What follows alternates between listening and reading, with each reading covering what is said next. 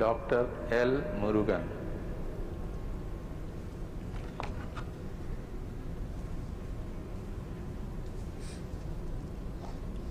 I, I, Dr. L. Murugan, do swear in the name of God that I will bear true faith and allegiance to the Constitution of India as by law established, that I will uphold the sovereignty and integrity of India, that I will faithfully and conscientiously discharge my duties as a Minister of State for the Union, and that I will do right to all manner of people in accordance with the Constitution and the law, without fear or favor, affection or ill will.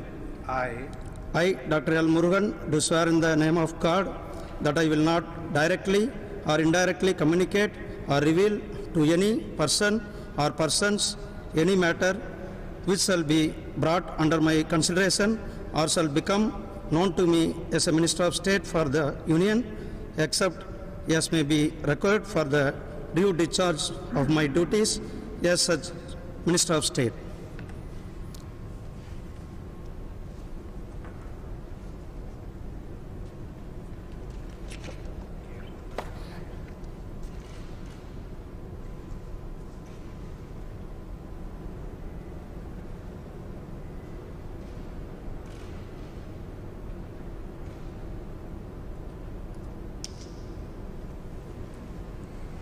Amen.